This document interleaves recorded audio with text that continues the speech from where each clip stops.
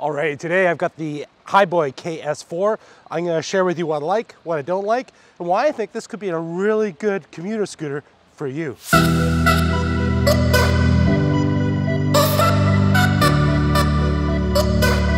The Hiboy KS4 has a 350 watt motor at the front, which is powerful enough to get this big guy around town. It struggles a bit on the hills. There is a pro version of this, which has a more powerful motor. So if you're a bigger guy, I'm gonna probably recommend you go with the bigger motor on the, uh, the pro version. But, uh, and hopefully I'll be able to actually review both of them and do a comparison between the two at some point. But for now, so far so good. So one of the really neat things is the folding mechanism. I haven't seen anything quite like it before, but it's really simple. There's a little switch on the side here and it just lean forward and it clips at the back with an interesting little hook like so. And then you're ready to take off and it's actually pretty light. It's about 34 pounds, I believe. So yeah, really, really, really, really light. And putting back together, same thing. Unhook it at the back, straighten it out, lock it into place, and you're golden.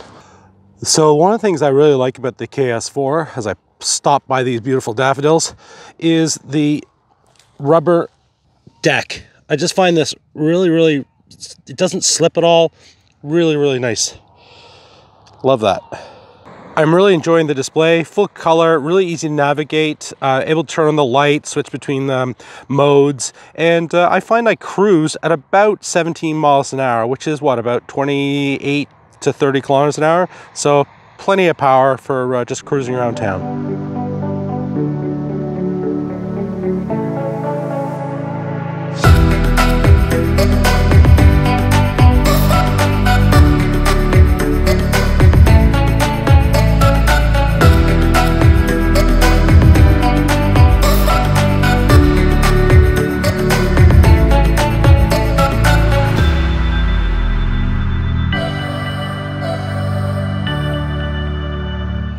One of the other things I really like about the uh, Hiboy is the cable management. You'll see that the cable goes straight inside the post there, pops out at the bottom, and then goes back into the deck.